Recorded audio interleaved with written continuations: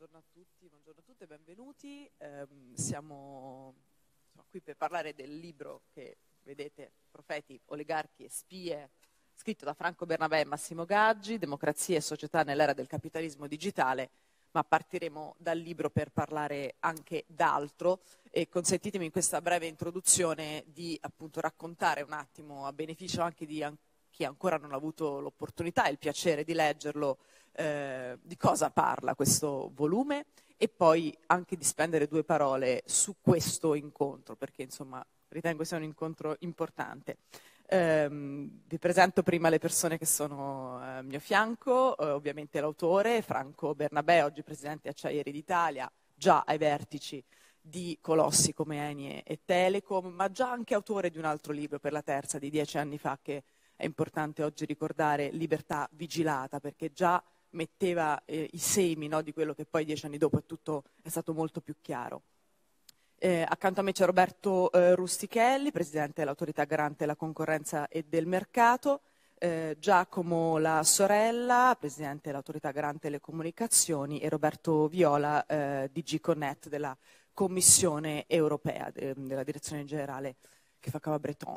Um, dicevamo il libro, il libro di Gaggi e di Bernabé, um, mi verrebbe quasi da usare la parola manuale, e solo guardando la bibliografia ecco, si potrebbe usare la parola manuale, perché è un libro corposo che ha diverse direttrici. Da una parte eh, è un escursus storico ehm, dalle origini della rete negli anni 70, quindi fino a TikTok, a oggi, ehm, passando per l'11 settembre, eh, a cui è seguito il Patriot Act, eh, madre in qualche modo di, di, tutte le leggi o di molte delle leggi che hanno poi dire, permesso quella che è stata definita la sorveglianza di massa ma dall'altro lato c'è un'altra direttrice che è la disamina delle responsabilità.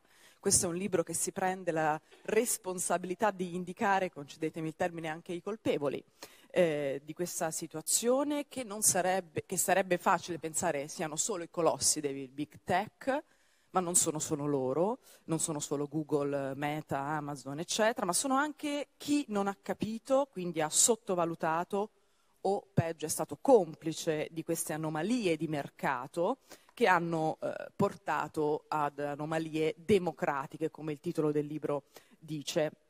Eh, colpe bipartisan, lo, lo, dico subito, nel libro si, si, spiega molto bene, con dovizia di particolare, ripeto, la bibliografia vale la pena eh, guardare. Ehm, c'è Bill Clinton, la sua sezione 230 del Communication Decency Act, che ha aperto la strada in qualche modo a quello che viene definito l'eccezionalismo di Internet, l'assenza anche di responsabilità dei giganti tech, ma anche della Corte Suprema americana, che col suo orientamento conservatore in qualche modo ha avallato, ha aperto la strada ed ha avallato e incentivato l'invasione di campo della sfera economica in quella politica eh, dicevo, un libro che mette in fila gli eventi e capire quello che è successo ci aiuta anche per non cadere proprio nella trappola del, del presentismo, no? del saper solo fotografare ciò che accade oggi, ma capire ciò che è accaduto ieri. Ehm, mette fila gli eventi che hanno portato da una parte a questo impoverimento occupazionale, un dato su tutti, General Motors 50 anni fa incassava un decimo, un decimo dei profitti di Apple oggi, ma dava lavoro a 10 volte il numero di persone cui dà lavoro oggi Apple, eh, impoverimento di produzione intellettuale e anche democratico. Non a caso il libro si apre con l'assalto a Capitol Hill del 6 di gennaio di due anni fa. D'altronde è stato lo stesso presidente Mattarella nel suo discorso di reinsediamento a parlare di poteri economici sovranazionali che tendono a prevalere e a imporsi aggirando il processo democratico. Infine un libro di grande attualità, eh, grandissima attualità, nonostante parta dagli anni 70, perché eh, indaga anche le ripercussioni e le sfide geopolitiche di questi giganti, avrete letto tutti o comunque sentito parlare delle interviste di queste ultime ore del presidente francese Macron a Politico, all'Es Echos, sulla sovranità strategica europea, eh, che ci riporta in qualche modo al concetto più ampio di tecnosovranismo o di sovranismo digitale che in qualche modo attraversa in varie parti questo libro, a proposito anche del ruolo dell'Europa. ma anche delle ripercussioni di questi gigacapitalisti nel mondo delle intelligence. E di nuovo qui eh, quanto esse comunicano tra di loro e quanto la tecnologia le influenza è cruciale. Mi viene da pensare anche alla scelta di Xi Jinping, pensando alle tecnologie e alle nuove forme di guerra, eh, per esempio eh, nello spazio, no? cyber e spaziale, la scelta di Xi Jinping di nominare il nuovo ministro della difesa, che è l'ex vice capo del, dell'esercito spaziale cinese, il corrispettivo cinese della Space Force americana. Eh, infine ne parlerà Bernabé tra poco, la vicenda di chat eh, GPT con tutte le sue incredibili eh, possibilità che apre e rischi connessi.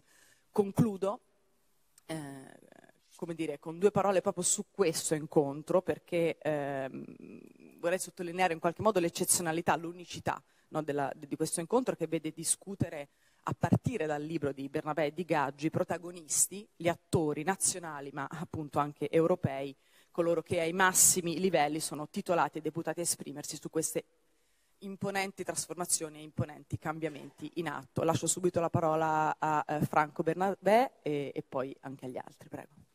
Grazie Eva Giovannini. Eh, Intanto grazie al Presidente La Russa per averci concesso questa straordinaria sala in un giorno particolare, eh, appunto il giorno successivo alle festività di Pasqua. Ma ringrazio soprattutto il Presidente Rustichelli, il Presidente La Sorella e il Direttore Generale Viola, che sono, come diceva eh, Eva Giovannini prima, le massime autorità sui temi di cui andiamo a discutere e che testimoniano della sensibilità che c'è in Europa per il tema della regolazione delle piattaforme, che è un tema eh, che ha portato a una narrazione sul tema della tecnologia, che è una narrazione che francamente è molto, come, dicono, come si dice in inglese, biased, cioè è una narrazione a senso unico in cui ci sono alcuni temi fissi, e cioè che la regolazione non serve, che la eh, tecnologia si sviluppa in assenza di presenza dello Stato, che la libertà del, dello sviluppo tecnologico deve essere totale. Ecco, quello che cercherò di eh, presentare eh, oggi, al di là di, del libro, che poi vi ritroverete molti di questi argomenti all'interno del libro, è che eh, la narrazione sbagliata, la ragione per la quale la tecnologia ha avuto successo è una ragione diversa da quella per la quale viene difesa l'assenza della regolazione.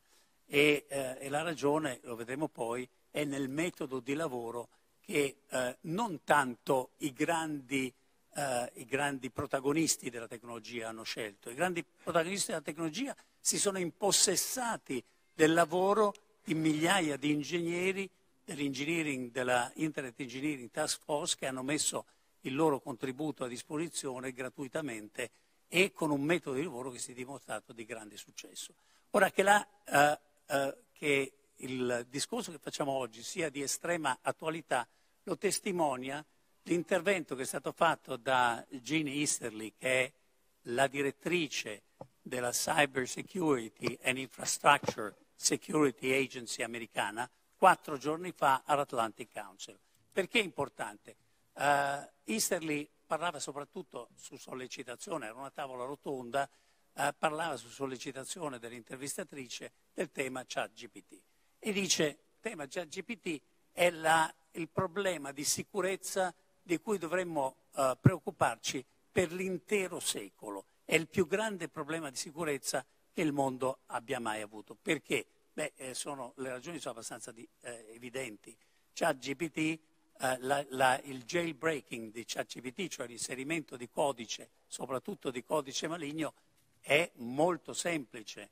Eh, ChatGPT si presta all'utilizzo del training su dati proprietari che poi vengono diffusi pubblicamente e della preoccupazione che il garante della privacy italiano ha, uh, ha avuto alla base del provvedimento con cui ha uh, in qualche modo frenato l'utilizzo di ChatGPT per, per questi momenti in Italia. Ma poi è andata avanti Easterly. Easterly ha detto delle cose che nessuno aveva mai detto in, 30, in più di 30 anni di sviluppo di Internet. Cioè, Easterly ha detto, Internet non è stata concepita per l'uso che se ne fa oggi. Ha un problema fondamentale eh, di specifiche di progetto, che è il problema della sicurezza, e l'assenza di tecnologia per quanto riguarda lo sviluppo dell'intelligenza artificiale eh, generativa creerà gli stessi problemi che ha creato la diffusione senza controlli delle piattaforme social che stanno distruggendo, dice Easterly quattro giorni fa, la salute mentale dei nostri figli. Ora, che una delle più grandi autorità americane in tema di eh, sicurezza usi termine, questi termini per la prima volta nella storia è molto significativo del fatto che per la prima volta anche negli Stati Uniti, che si sono sempre opposti a qualsiasi tipo di interferenza nello sviluppo delle piattaforme tecnologiche, eh, si sta prendendo coscienza dei problemi che questo, che questo pone. Ora, eh, assomiglia un po' questa situazione, la citavo perché assomiglia un po' alla situazione che si era sviluppata alla fine degli anni 80 e inizio degli anni 90. Perché internet è stato diffuso eh, con delle specifiche di progetto che non erano quelle per le quali viene utilizzato oggi? Beh, semplicemente perché alla fine degli anni 80, inizio degli anni 90, la pressione delle piccole imprese che utilizzavano abusivamente l'infrastruttura che era stata creata dalla National Science Foundation, eh, portò a, a, a, un, a, una pressione politica talmente forte che nel 92 la National Science Foundation disse, sapete che c'è, eh, volete utilizzarla per fini commerciali e allora eh, la uh, liberalizzo così com'è. E venne aperta agli usi commerciali, anche se non era stata concepita per quello era stata concepita per un utilizzo dove i terminali di accesso erano noti e controllati. Serviva per eh, collegare infrastrutture certe e eh, soggetti che erano certificati. Quello serviva a Internet. Diffu- e manca infatti fra i requisiti di progetto di Internet manca la, l'elemento essenziale, che è il requisito di sicurezza. Quando venne progettato il problema era la resilienza e non la sicurezza e quindi era stato fatto eh, per, sostanzialmente all'epoca per eh, risolvere un problema che era un problema di sicurezza di comando e controllo. Tant'è che nel 92-93 a quel punto anche i militari che invece utilizzavano la piattaforma decisero di uscire completamente, di lasciare internet al proprio destino e di costruirsi una piattaforma per conto proprio.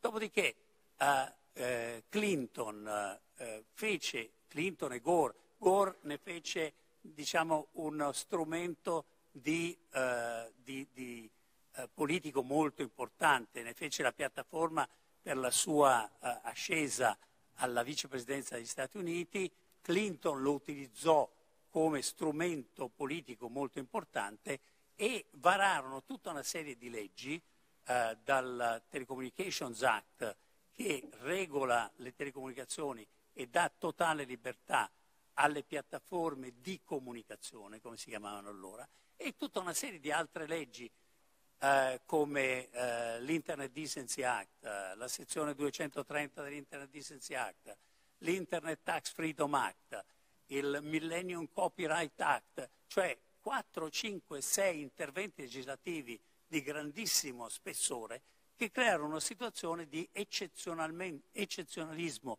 giuridico eh, perché di fatto garantivano la, eh, l'immunità civile e penale nei confronti delle piattaforme. Ora voi potete immaginare che eh, i poveri librai che dovevano eh, preoccuparsi del fatto che se c'era una copertina con un'immagine sconcia erano soggetti a una, un'azione legale che eh, dovevano pagare il, la, la, local tax del 10%, si trovano a competere con uno che, ha, eh, il, che è completamente esente dalla local tax, quindi che già sul margine librario del 3-4% eh, aggiunge il 10% di, di local tax, eh, che è indenne da qualsiasi tipo di sanzione penale civile per quello che viene scritto all'interno delle piattaforme, è chiaro che in quel modo lì la concorrenza è molto facile.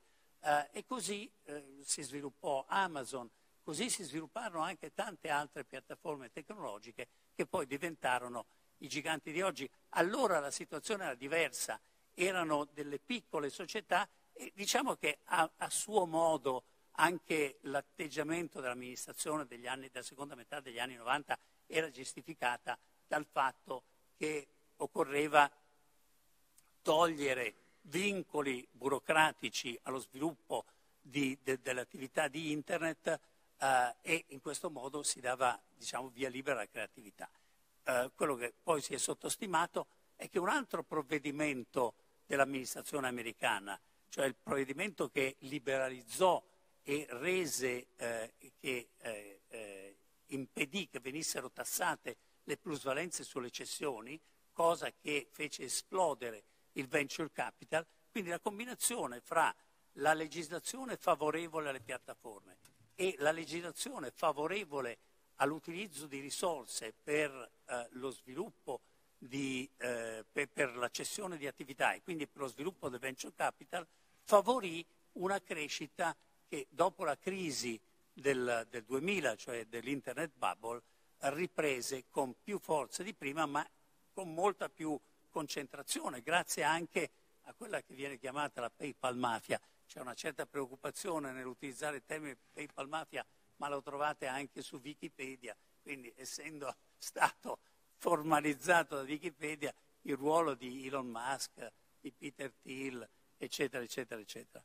Quindi l'amministrazione americana eh, utilizzò questa, questa, questa eh, strumentazione legislativa molto molto importante eh, fra, fra, e all'interno della quale probabilmente la più importante è la cosiddetta Section 230 dell'Internet Decency Act. È interessante la, la storia di questo perché eh, i legislatori americani correttamente si preoccuparono all'inizio che Internet non venisse utilizzato per diffondere materiale pornografico, come era successo per il DVD, come era successo per il VHS, cioè tutte le piattaforme tecnologiche avevano avuto la loro spinta grazie al porno. E i legislatori americani giustamente dissero, eh, qui bisogna fare una regolamentazione che impedisca la diffusione del porno attraverso Internet e fecero l'Internet Decency Act. Uh, L'Internet Decency Act venne approvato dal Congresso e dopo due anni venne bocciato dalla Corte Suprema uh, in nome del, della libertà di espressione uh, de, garantita dalla Costituzione americana. Però all'interno dell'Internet Decency Act due deputati, bipartisan tra l'altro, inserirono la cosiddetta se, sezione 230, che sono poche parole, ma che dicono sostanzialmente che nessuna, delle, nessuna eh, strumento di comunicazione elettronica può essere responsabile dei contenuti eh, che attraverso di esso vengono veicolati. Cioè, quindi in, eh, indennità a una, una, una, totale libertà eh, e deresponsabilità, uno scudo penale. Adesso io poi, tra l'altro che faccio il presidente di Acciaierie d'Italia, uno scudo penale totale civile e penale eh, per le piattaforme. Eh, però gli americani si preoccuparono. Dunque, c'è una, una cosa molto, molto, interessante, che è una, un'intervista fatta da Wired cine, a, a, un gruppo di, uh, di start-up cinese uh, che, uh, del 96, 96. È una intervista straordinaria perché questo responsabile della start-up cinese, intervistato da Wired, nel 96 disse una rete che consente a ogni individuo di fare ciò che vuole, con tutto quel confuso chiacchiericcio, buono e cattivo, giusto e sbagliato, tutto mescolato insieme. Una rete egemonica che danneggia i diritti degli altri. Non c'è dubbio internet, che Internet sia una colonia, una colonia dell'informazione. Dal momento che vai online ti devi confrontare con l'egemonia inglese Qui non si tratta di rendere Internet più conveniente anche per quelli che non parlano inglese. Il nostro ideale è creare una rete esclusivamente cinese. Dopodiché, ovviamente, i cinesi eh, sono andati avanti, hanno fatto 20 provvedimenti legislativi fra il 1995 e il 2000 di regolazione di Internet, eppure tutta questa attività di regolamentazione di Internet non ha comportato nessun problema in termini di innovazione. L'innovazione in Cina è andata avanti a ritmi eh, eccezionali, indipendentemente dal fatto che ci fosse probabilmente la più rigida regolazione del mondo. Uh, questo non ha impedito agli spiriti animali cinesi di fare quello che hanno fatto e di competere con successo eh, con gli Stati Uniti, tant'è che TikTok oggi è talmente di successo che gli Stati Uniti la vogliono abolire. L'Europa si è comportata in modo completamente diverso. Riporto nel libro un episodio interessante, e cioè che eh, Clinton si diede molto da fare per promuovere a livello internazionale internet e eh, mandò Aira Magaziner a eh, promuoverlo. A livello... Lì avevano già il problema di SWIFT, perché eh, voi sapete che eh, tutte le transazioni finanziarie mondiali vengono mirrorate sui server della NSA. Quindi qualsiasi cosa passi da SWIFT, cioè qualsiasi transazione eh, finanziaria che passi da SWIFT, viene mirrorata. Eh, il New York Times, credo nel 96-97, denunciò la cosa e eh, ci fu un problema gigantesco dal punto di vista diplomatico perché gli Stati Uniti non volevano ovviamente rinunciare al controllo di tutte le transazioni finanziarie che passavano attraverso SWIFT, tant'è che poi alla fine si decise di andare avanti. Ma nello stesso momento, sempre nel 96, in Australia si erano accorti di Echelon e del fatto che eh, Echelon controllava massivamente tutto quello che passava su internet. Uh, Ira Magaziner aspettò che venisse eletto Presidente del Consiglio europeo uh, Juncker e andò da Juncker e gli disse guarda, tu devi promuovere in Europa la stessa legislazione che c'è negli Stati Uniti, cioè tu devi consentire alle imprese americane di muoversi come si muovono negli Stati Uniti. E venne infatti nel 2000 approvato il cosiddetto Safe Harbor che consentì alle imprese americane di crescere in Europa godendo degli stessi privilegi di eccezionalismo giuridico di cui godevano negli Stati Uniti. E quindi eh, la, la, storia dell'Europa, che è molto complessa, in, eh, nel libro se ne fa una parte, ma ci sono tante ragioni per le quali eh, l'Europa oggi soffre di una eh, di una mancanza di dinamismo tecnologico eh, come invece gli Stati Uniti, eh, la Cina e per certi versi perfino la Russia, perché la Russia è stata, eh, ha, ha, ha, vissuto una stagione di grande, e ha una stagione di grande dinamismo tecnologico che riguarda dire, solo la parte dark della tecnologia.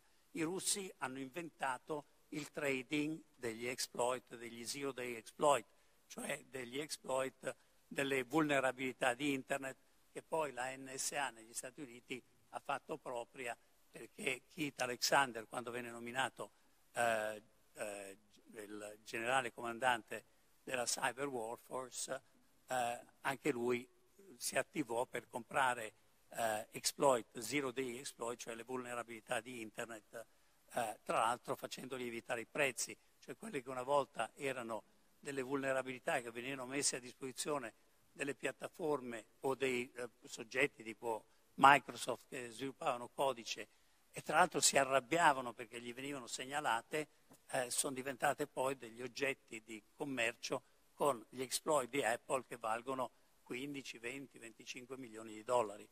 Uh, ora, il problema però è, per tornare al tema, poi lascerò la parola ai presidenti, eh, la sorella Rustichelli e al direttore Viola, il problema è centrale e il problema è se la regolazione freni o non freni la, lo sviluppo tecnologico, che riporta anche un altro problema del perché le società di telecomunicazioni dopo l'introduzione di Internet hanno vissuto una fase di declino che le ha portate alla fine.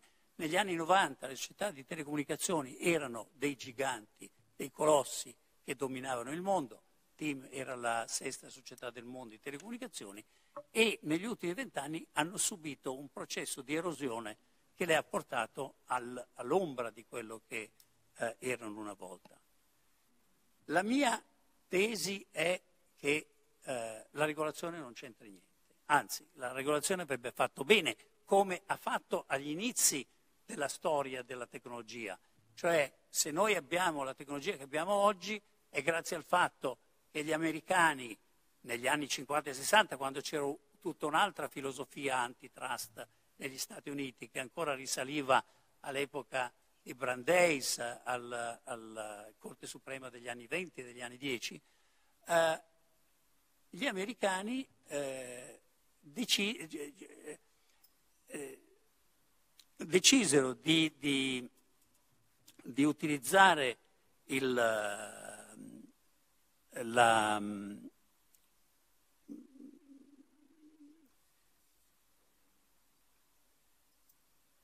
di, di utilizzare, scusate, scusate eh, il, lo, lo, sviluppo eh, della tecnologia venne eh, fatto dall'autorità antitrust degli anni 50 e degli anni 60 quando separò il software dall'hardware e consentì di svilupparsi a un'industria autonoma del software. Eh, altrimenti eh, IBM sarebbe diventata eh, un, un, colosso che dominava tutta l'industria delle telecomunicazioni, delle, delle, dell'informatica. Ma lo stesso per Microsoft. Anche Microsoft ebbe eh, un, una, la, la, lo sviluppo, ebbe una spinta dall'apertura della piattaforma di Windows che eh, era stata bloccata. Ma forse la decisione più importante era stata quella del, del governo americano di aprire la disponibilità della tecnologia dei transistor a tutte le società che ne avessero fatto richiesta, perché la tecnologia dei transistor era stata sviluppata negli anni 40 e negli anni 50 da Bell Lab in una situazione di monopolio e gli americani eh, avevano avuto diciamo, il coraggio di dire no, mettiamo a disposizione di tutti. Quindi il problema non è tanto la regolazione, il problema è che il metodo di lavoro adottato da Internet è un metodo di lavoro completamente diverso da quello adottato dalle società di telecomunicazione. E questo lo disse bene, eh, lo disse bene Clark, in un famoso David Clark, in un famoso speech che fece in uno degli incontri dell'Internet Engineering Task Force, nel quale disse noi rifiutiamo i re, i presidenti e il voto. Noi crediamo nella, uh, nel, nel consenso approssimativo e nello scrivere il codice.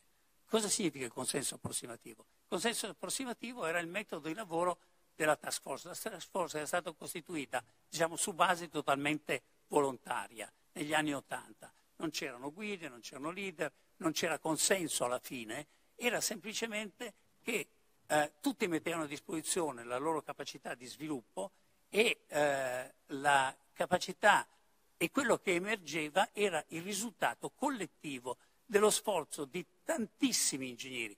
Ricordiamo per esempio che l'MPEG, picture, la, la, la tecnologia di compressione del segnale video che consente oggi di vedere in streaming la televisione, è stata fatta con la leadership di un italiano, Leonardo Chiariglione, eh, che, era, eh, in, che, lavorava al, a, a, Torino ai laboratori, ai laboratori dell'Oxhealth.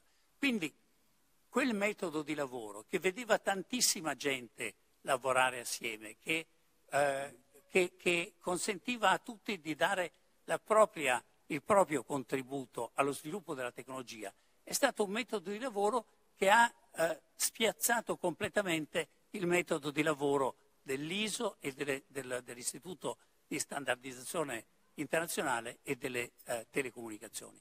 Tant'è che in un altro, eh, in un altro eh, famosissimo discorso fatto da un altro dei guru di Internet, cioè Mike Papdisky, eh, disse il metodo di lavoro dell'ISO è un metodo prescrittivo, il metodo di lavoro di Internet è un metodo descrittivo. Il metodo prescrittivo si adatta alla teologia, il metodo, il metodo descrittivo si adatta alla tecnologia. Ecco, quindi questo è in sintesi il, il tema di cui volevo parlare e adesso, scusatemi se è stato un po' lungo, eh, lascio la parola ai nostri presidenti e al direttore generale.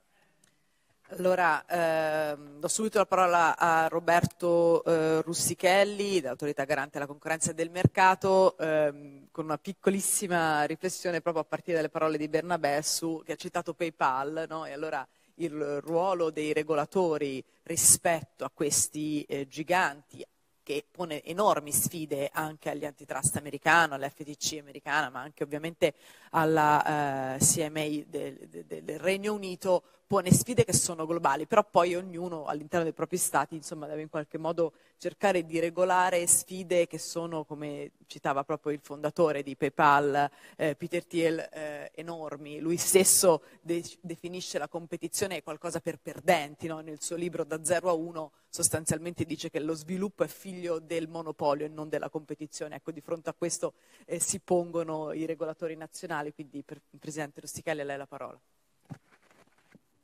buongiorno a tutti, grazie per la pazienza che avrete nell'ascoltarmi, ringrazio il dottor Benavè per l'invito e ringrazio il Senato per la ospitalità.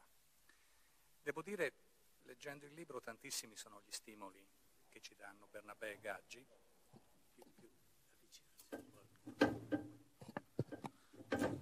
La sedia non va oltre, quindi mi piegherò, mi piegherò in avanti, abbiate pazienza.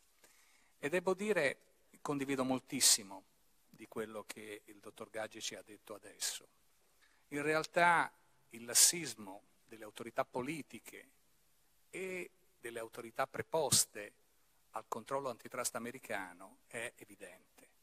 È evidente di fronte, vedete, a degli straordinari meriti che hanno avuto i GAFAM, perché hanno cambiato la vita a tutti si è creata questa strana situazione in base alla quale si è tornati a concetti eh, precedenti, addirittura lo Sherman ha nella valutazione del fenomeno eh, sotto il profilo della competitività e della libertà dei mercati.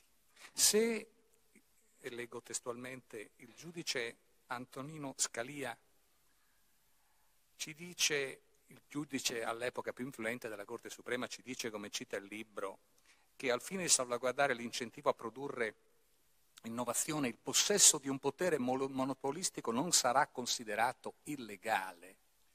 E questa è una frase che distrugge la storia delle politiche antitrust americane, no? Gli americani, lo Shermanata è nato cent'anni prima dell'autorità italiana. Se eh, qualche altro come Peter Thiel dice che la competizione è roba da perdenti, o che la eh, TIEL difende solo i monopoli creativi realmente validi che le altre imprese non riescono a offrire un'alternativa comparabile, come dice appunto queste teorie, diciamo così, soprattutto della, della scuola di Chicago, noi abbiamo creato dei mostri. La capitalizzazione di borsa dei GAFAM è 7.700 miliardi, ma nel 2021 ha raggiunto i 10.000 miliardi cioè cinque società al mondo capitalizzano quattro volte il lavoro di tutti gli italiani, quattro volte quindi il PIL italiano, quattro anni di lavoro italiano e la loro capitalizzazione. Altro grande tema che io vedo e che nessuno riesce a risolvere è quello della concorrenza fiscale. Noi abbiamo, i paradisi fiscali una volta erano le Cayman, le Isole Vergini, Oggi noi abbiamo i paradisi fiscali con l'euro, il Lussemburgo, l'Irlanda, Malta, Cipro, eh, l'Olanda. Voi pensate che in un paese come l'Italia, che è un paese di piccole e medie imprese, cosa significa dover pagare tassazioni spesso superiori nel complesso al 50%, mentre per tanti anni, ad esempio, Google in Irlanda ha pagato lo 0,05%? E quando la Commissione europea, la vicepresidente Vestager, ha provato a intervenire, purtroppo in assenza di un'armonizzazione fiscale, noi abbiamo creato l'euro senza armonizzazione fiscale, quindi avere una moneta senza avere una base fiscale comune per i paesi eh, manufatturieri come l'Italia è stato un disastro. E fra poco vi darò dei numeri che sono abbastanza eclatanti su questo. A un certo punto la vicepresidente Vestager interviene e lo fa con l'unico strumento che aveva a disposizione, la, lo strumento degli utili di Stato, che però è uno strumento assolutamente inadeguato. E ahimè questo aspetto lo coglie la Corte di Giustizia quando annulla l'obbligo di, imposto dalla Commissione a Google di restituire 13 miliardi di, eh, di euro di tasse non pagate all'Irlanda. E devo dire che eh, questo sta creando delle disarmonie di sistema straordinarie. Se voi pensate, vi prendo tre paradisi fiscali. L'Irlanda ha un reddito pro capite di 78.000 euro, il Lussemburgo di 84.000, l'Olanda di 43.000 e l'Italia è rimasta ferma a 27.000. Noi siamo fermi, siamo l'unico paese europeo il cui eh, reddito pro capite è fermo da 20 anni. Tutto questo significa che evidentemente si sono creati dei meccanismi dove il paese che produce valore non riceve la tassazione, salvo poi avere i costi fiscali, perché se io ho un'azienda e produco valore in Italia e al contempo pago le tasse da un'altra parte in misura nettamente inferiore, faccio tanti danni. Perché? Perché l'Italia ovviamente non percepisce quello che è giusto, perché poi l'Italia dovrà poi, quando quell'impresa andrà in crisi, pagare la cassa integrazione agli operai, magari ha fatto dei finanziamenti, eccetera. E d'altra parte le nostre imprese si trovano ad, ad avere una dire, competitività ridotta dal fatto che non possono investire come le aziende che non pagano le tasse, non possono quindi creare più innovazione, non possono creare pubblicità, non possono investire nell'azione di lobbying, che è un'azione, ahimè, estremamente forte da parte dei GAFA. Dopodiché la prova evidente di quello che ci dice Bernabé e Gaggi sta nel fatto che ci sono state 500 acquisizioni negli ultimi anni negli Stati Uniti da parte dei, degli over the top e nessuna, nessuna di queste è stata bloccata dalle autorità americane, proprio per questa idea di lasciar fare, di dare spazio a questi eh, eh, giganti e ovviamente queste sono spesso killer acquisition. Le killer acquisition, come tutti sappiamo, sono le acquisizioni fatte per evitare un possibile concorrente. In un settore ad elevata obsolescenza come quello della rete, ovviamente questo cosa produce? Produce il fatto che tutto si concentra. Un altro grande tema che si affronta eh, e quindi è, diciamo nel libro è che io condivido, è quello che non è solo in pericolo il mercato, la sua struttura è in pericolo, ma è in pericolo la democrazia. Perché noi quando abbiamo società che capitalizzano più del prodotto interno lordo di una delle principali potenze economiche al mondo, abbiamo creato situazioni di concentrazione di potere economico talmente grandi che comportano dei grandissimi ricatti ai paesi, sotto il profilo ovviamente degli investimenti, dei disinvestimenti a maggior ragione, sotto il profilo del condizionamento dei legislatori. Altro tema, quello del break-up. L'ultimo break-up che è stato fatto negli Stati Uniti risale, come ci ricorda anche il libro, al 1984, quello del settore telefonico, dove a un certo punto da una società che era diventata talmente potente se ne creano otto.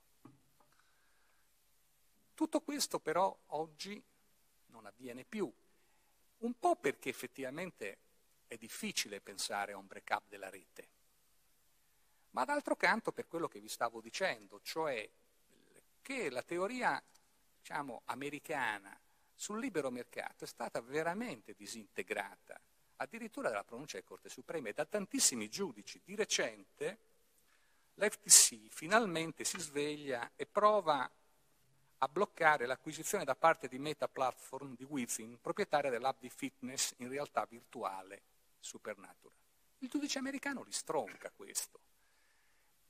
E cosa che succede, mi diceva il Presidente Monti e la Vicepresidente Vestager, anche con la Corte di Giustizia europea, purtroppo i giudici, che conosco bene perché ne porto ancora la toga, hanno un approccio di grande rigidità. Al contrario dell'economia, l'economia non è statica, l'economia come la, l'ermeneutica, entra in vigore la legge, si interpreta, eccetera. L'economia è dinamica, tutti i giorni cambia. E quindi anche la Corte di giustizia europea ha bloccato tantissime iniziative della, della DC Competition. Ora, ora, bisogna secondo me ragionare in termini completamente diversi. Se è in pericolo la struttura del mercato, se è in pericolo la democrazia, in definitiva, l'idea che i prezzi bassi, e anche qui vorrei andarli a vedere poi questi prezzi così bassi, sono una giustificazione sufficiente per non fare nulla, ma noi non dobbiamo dimenticare che i consumatori non sono consumatori soltanto, sono lavoratori e sono contribuenti. E quindi tutto questo ragionamento pone, come dire, un, dà qualche piccolo vantaggio, ma toglie tanto altro.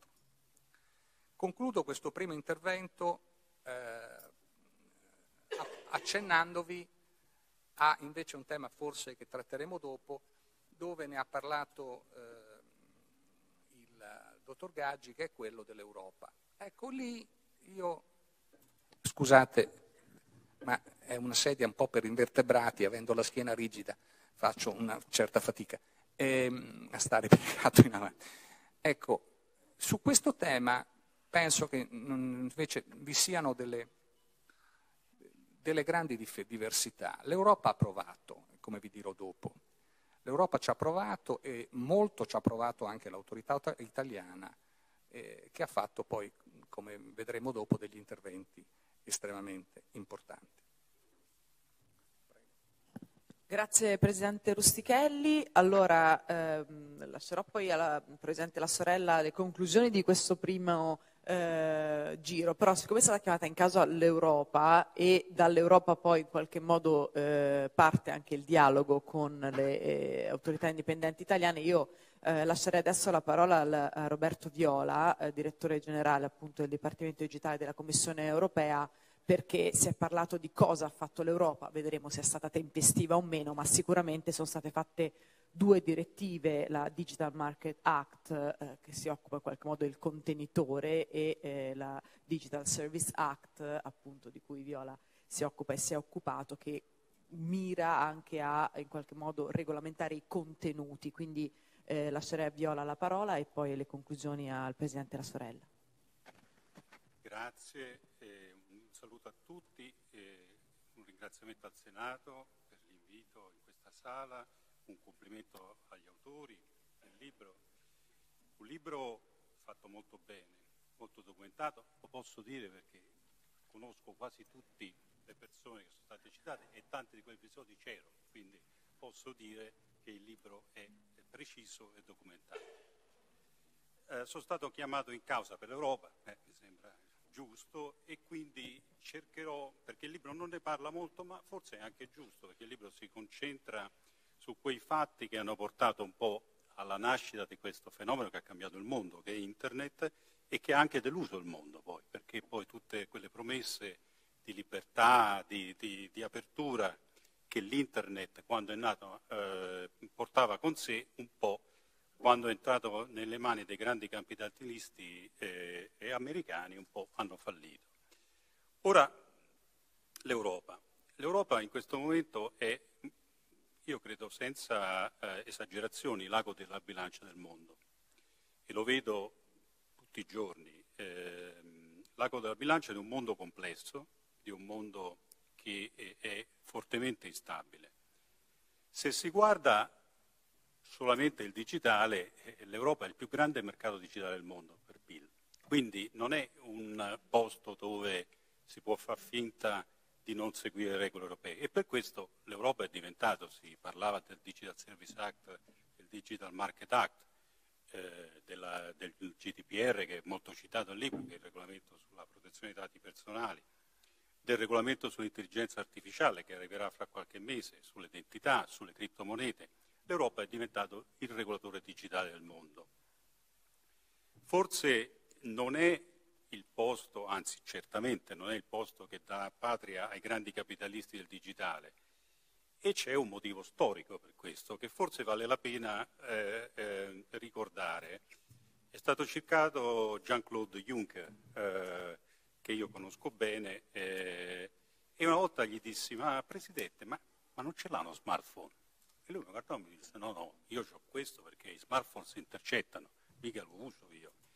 Eh, il presidente Juncker non era un grande appassionato del digitale, devo dire, non lo è mai stato eh, e, e c'è un motivo, perché in quell'ordine del mondo, un po', se posso semplificare, il mondo era spartito così. L'Europa era grandissimo esportatore, tuttora lo è, di automobili, di robot industriali, di macchine industriali e aveva, vanta tuttora un bilan- una bilancia commerciale imbarazzantemente alta, soprattutto tedesca, nei riguardi degli Stati Uniti e a quel tempo anche nei riguardi della Cina.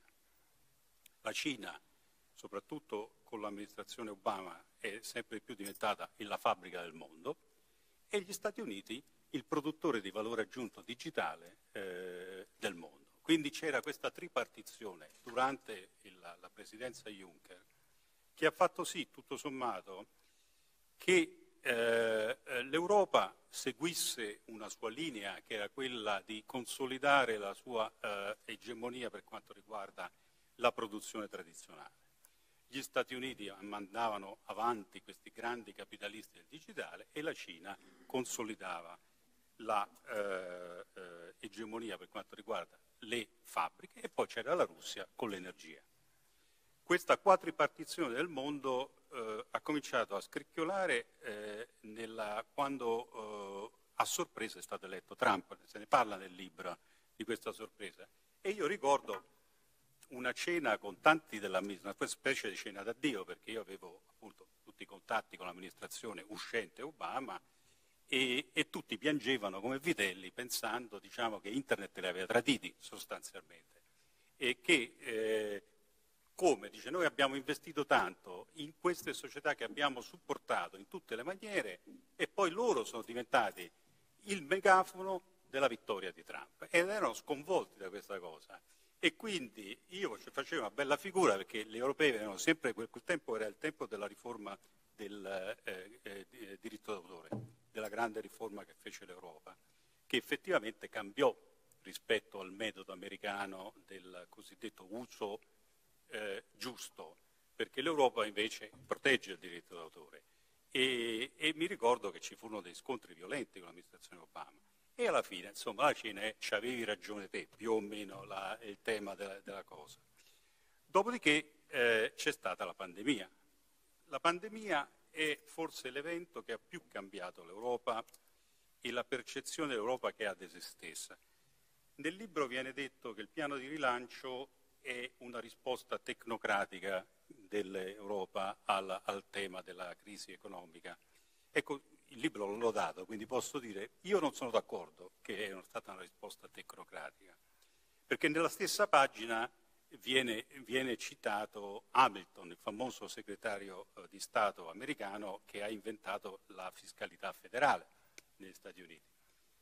Ecco, io credo che il piano di rilancio eh, europeo è stato il momento hamiltoniano dell'Europa ed è stata una decisione fortemente politica che noi venimmo chiamati, direttori generali, a dire questa è la decisione, non è che il piano di rilancio è stato inventato dai direttori generali, è stato messo in piedi dai tecnocrati, ma fortemente voluto dagli stati e, eh, ed è una scelta politica quella di fare un debito imponente in capo alla Commissione europea, che per la prima volta l'Europa si è data un debito comune eh, per finanziare la, eh, eh, il rilancio dopo il Covid.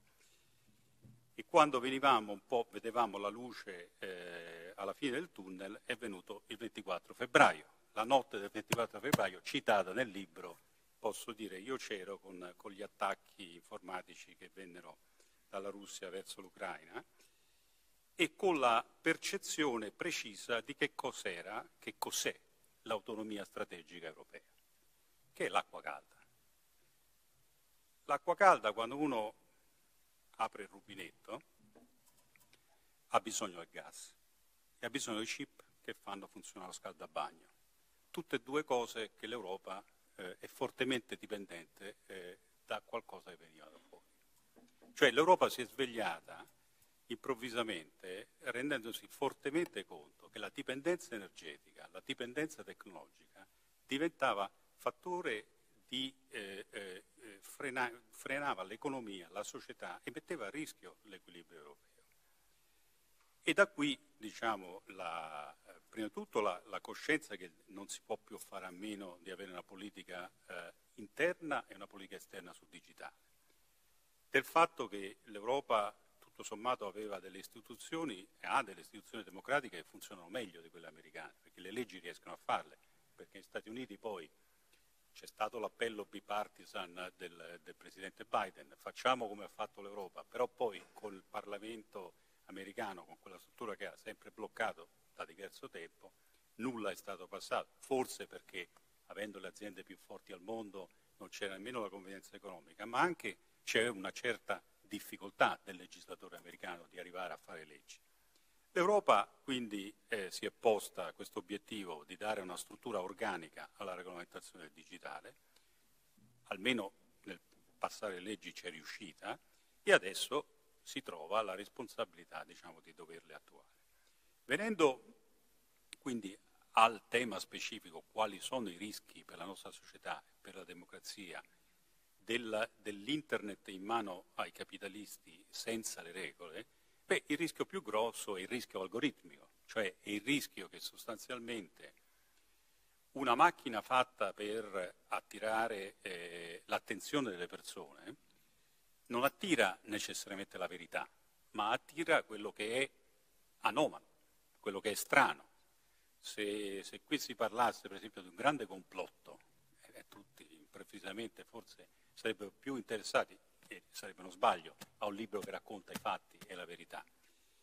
E questa, questa, caratteristica della natura umana, che è tipica poi quando andiamo al cinema, no? al cinema ci piacciono delle, delle storie un po', un po strane, no? eh, però la vita non è una storia strana, deve essere una, una, una storia di fatti, di racconti obiettivi, di giornalismo professionistico. Tutto questo con l'internet commerciale si è perso. E quindi le grandi macchine algoritmiche fatte per fare soldi hanno amplificato di tutto. È quello che in inglese si chiama, eh, con un termine abbastanza forte, ma credo che rappresenta un po' il problema, garbage in, garbage out. Quindi immondizia immessa nel sistema, immondizia amplificata dal sistema.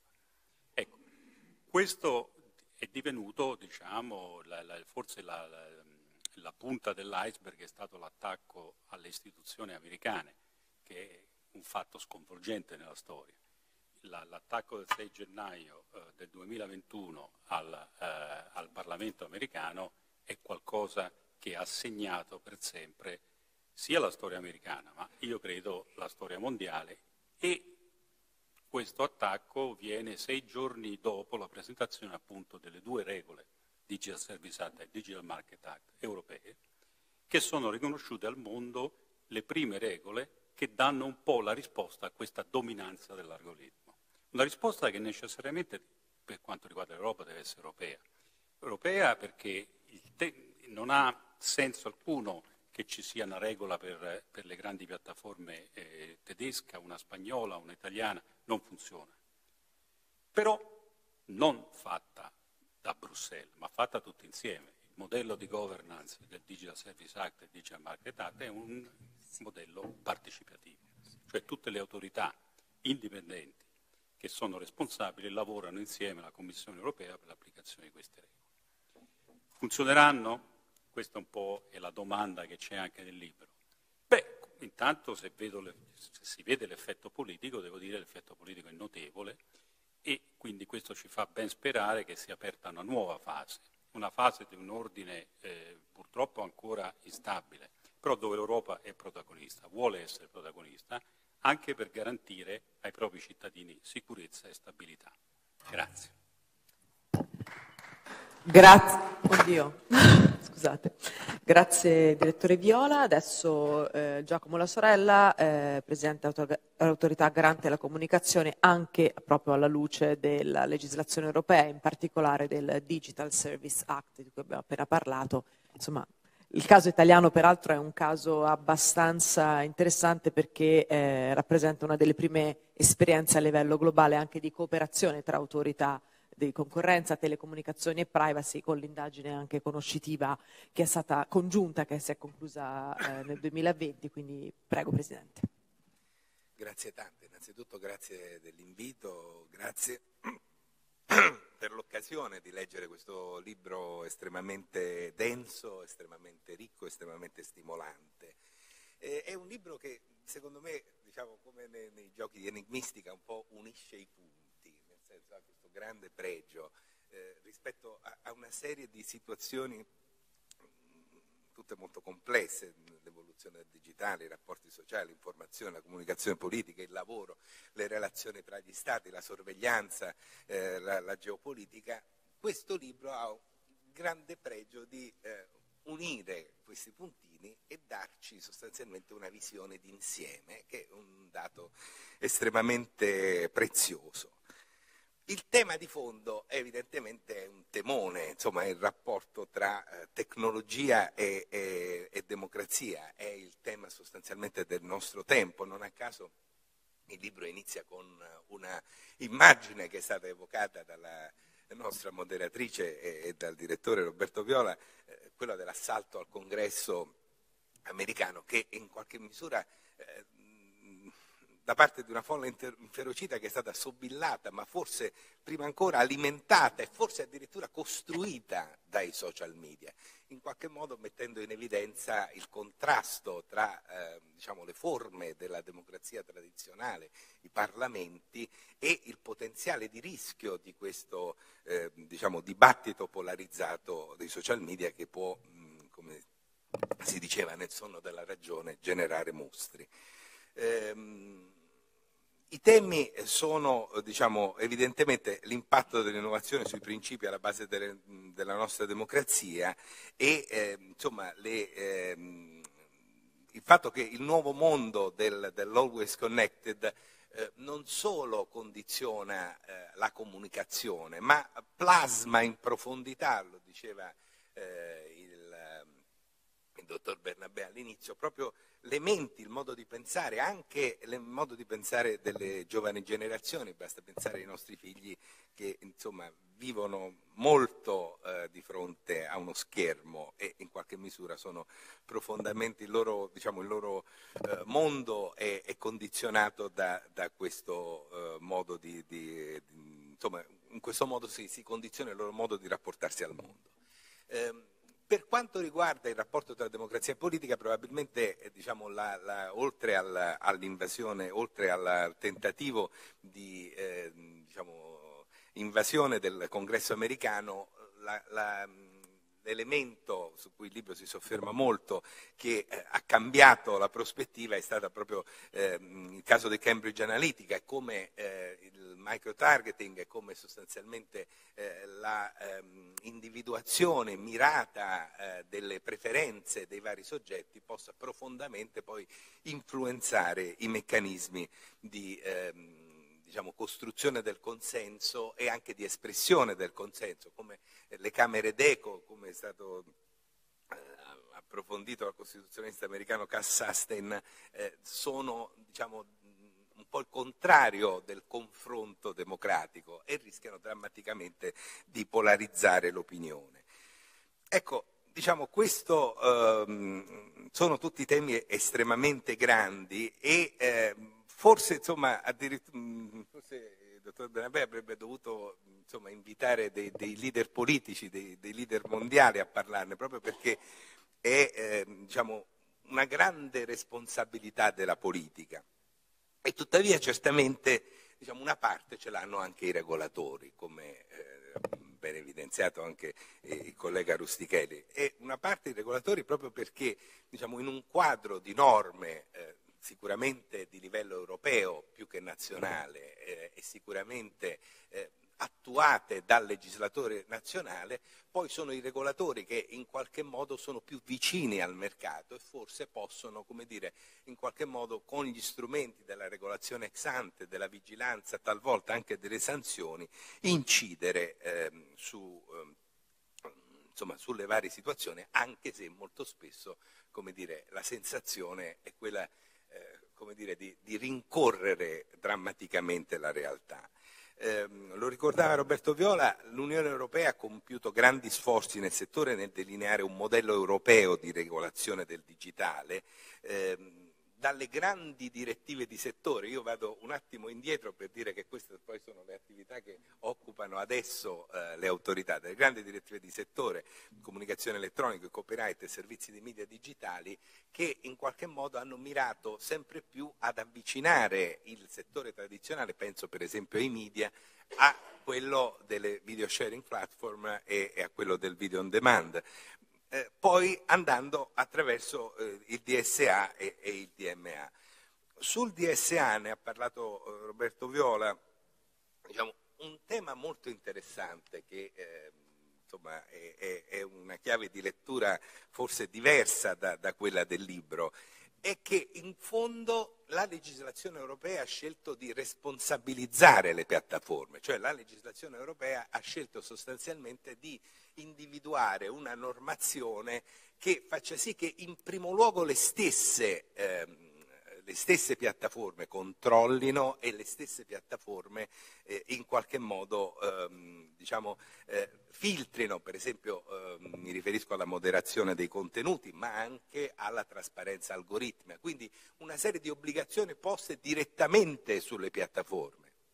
È una, una grande sfida anche perché inevitabilmente eh, diciamo, le piattaforme mirano a eh, fare profitto e quindi sono difficilmente riescono dire, a mettersi la giacca del, del regolatore e, e del moderatore.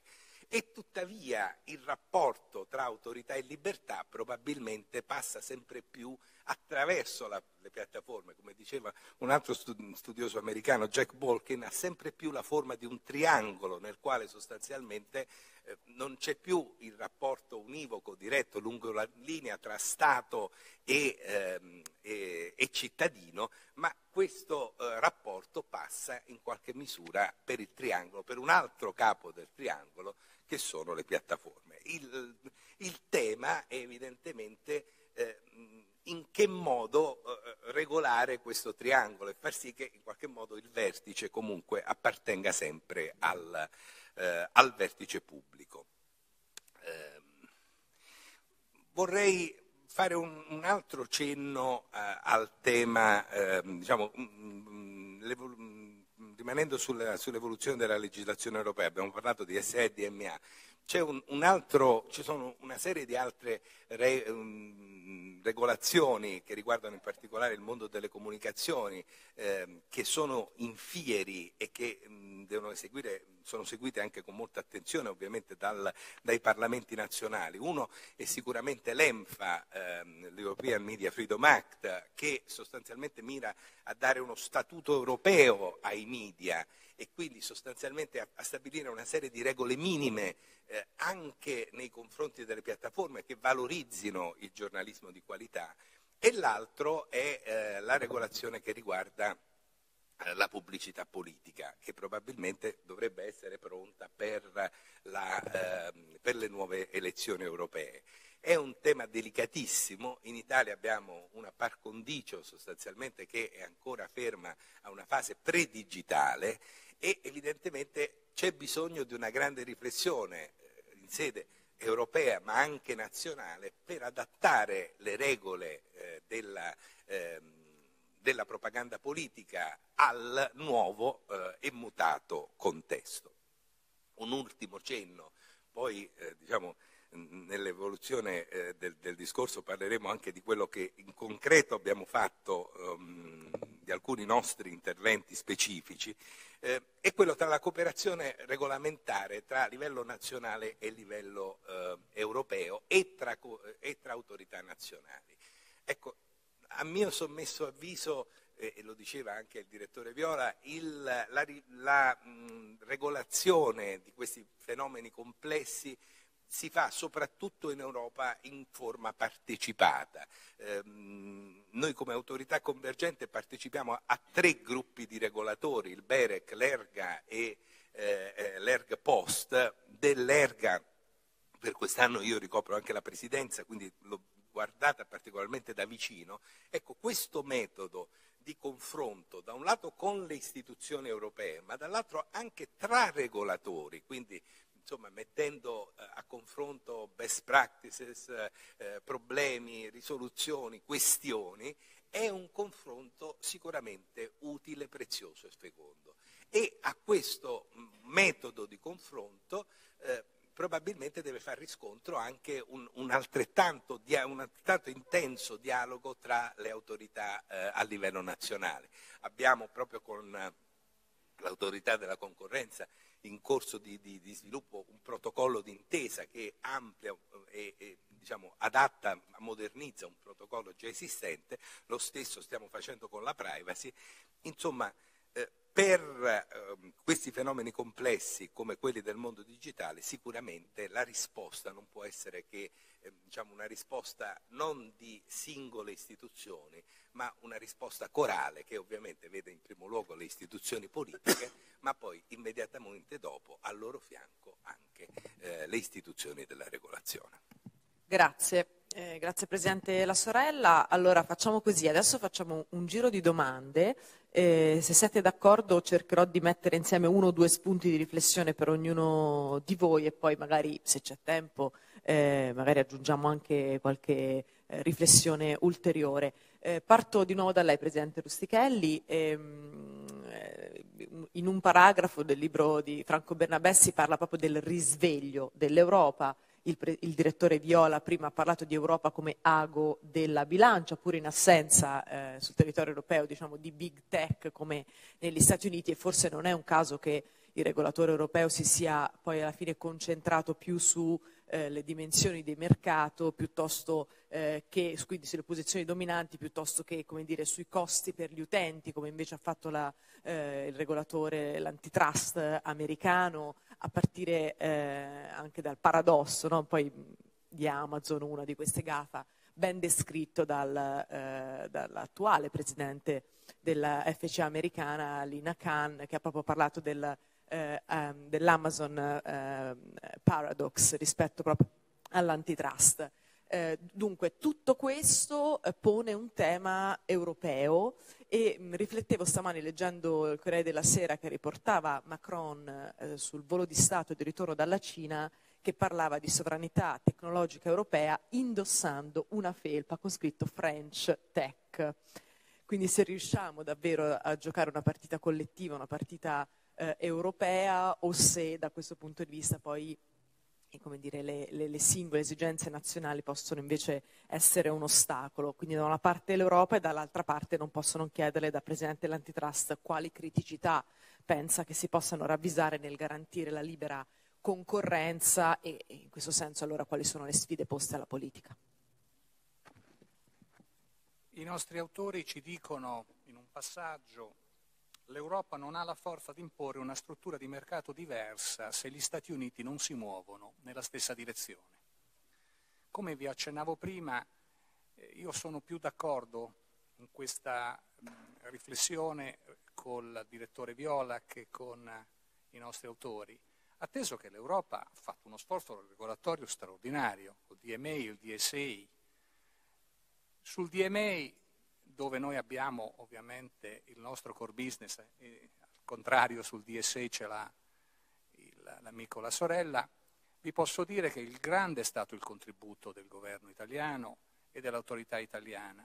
Noi abbiamo cercato, rispetto al testo iniziale, di mantenere le competenze delle singole autorità nazionali sull'articolo 101, quindi le intese, e l'articolo 102 del trattato. E su questo l'Europa ha fatto una riflessione e alla fine diciamo, eh, ha dire, creato un meccanismo di eh, interscambio fra Commissione e singole autorità nazionali, a mio avviso, estremamente virtuoso.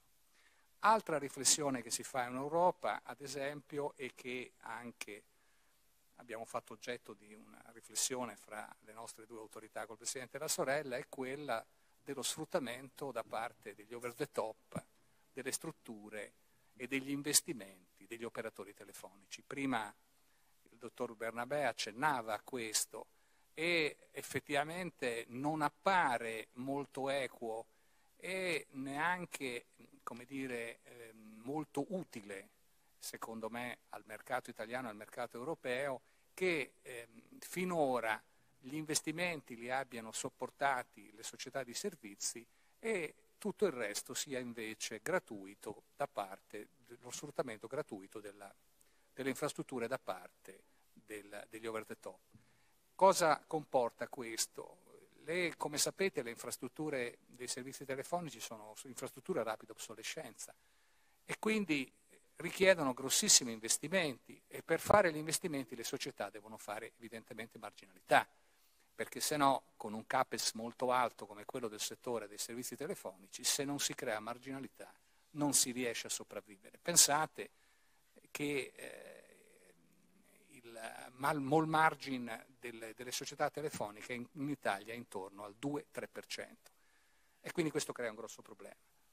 Uh, l'altra questione, come stanno affrontando le autorità nazionali europee ovviamente le autorità nazionali intervengono esposte, noi siamo un'autorità non regolatoria e quindi noi facciamo i casi, per essere chiari, facciamo il public enforcement, l'advocacy.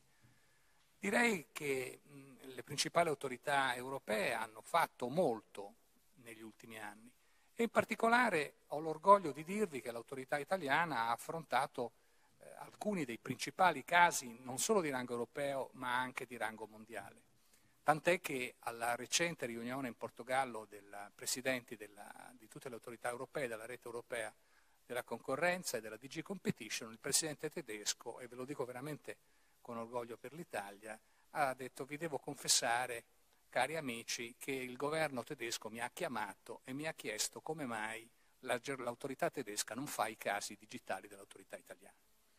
Ve ne cito uno che penso che quasi tutti conosciate, che è il caso Amazon, al di là della sanzione estremamente importante, proporzionata ovviamente alle dimensioni del colosso, eh, oggi tutti i paesi europei applicano come impegni presi da Amazon con la DC Competition gli obblighi comportamentali che gli ha imposto l'Italia. Ma l'Italia ha aperto anche di recente un caso che è un leading case il caso Metasiae. Perché è un leading case? Questo Parlamento ha fatto una norma all'avanguardia in materia di abuso di dipendenza economica e l'autorità l'ha immediatamente sfruttata. L'abuso di dipendenza economica ha ovviamente una parte civilistica e l'autorità interviene quando il, diciamo, l'abuso perpetrato da una delle parti nei confronti della, dell'impresa più debole ha delle rilevanti implicazioni sulla concorrenza e sul mercato. Non voglio entrare nei dettagli, il caso l'abbiamo appena aperto, abbiamo fatto un cautelare audita, audita significa che ascolteremo le ragioni delle parti, garantiremo il diritto di difesa come è giusto che sia. Però anche su questo è il primo caso di abuso di dipendenza digitale al mondo. Passando alla seconda parte della sua domanda, grande crisi delle catene del valore. Ecco, qui l'Europa si è svegliata come dicevano i colleghi di tavolo, si è svegliata all'improvviso e ha capito che deve fare qualcosa. Perché? Perché non è possibile che su settori nevralgici, ma non solo come quello della, del, dei microchip, del digitale, ma io me ne dico un altro, i principi attivi farmaceutici. Oggi i principi attivi farmaceutici sono prodotti a costi bassissimi da Cina e India. Immaginate quel quadro, se dovesse destabilizzarsi, ad esempio per la questione di Taiwan, noi avremmo che per i diabetici il mancato arrivo dei principi attivi che curano il diabete provocherebbe 30.000 morti il primo mese in Italia. L'Europa di questo si deve preoccupare, cioè noi dobbiamo ritornare a essere in possesso delle catene del valore. Altro grande tema, a mio avviso, dove gli americani si stanno svegliando adesso, ma a parole, è quello del più grande monopolista, organismo di monopolio vivente da sempre, che è l'OPEC.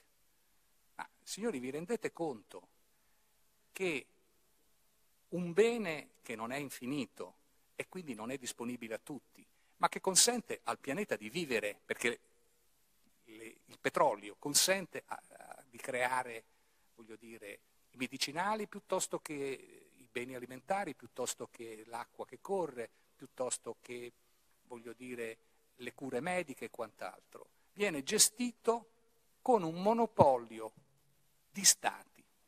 Nel 1979, se ricordo bene, un cittadino americano andò da un giudice americano a chiedere l'accertamento del monopolio illegittimo da parte dell'OPE. Ebbene, quel giudice ci disse, perché disse a tutti, perché quella sentenza ovviamente è una sentenza che continua ad avere i suoi effetti, che non si poteva fare legalmente niente perché? Perché uno Stato sovrano non può essere considerato un professionista e come tale sanzionabile.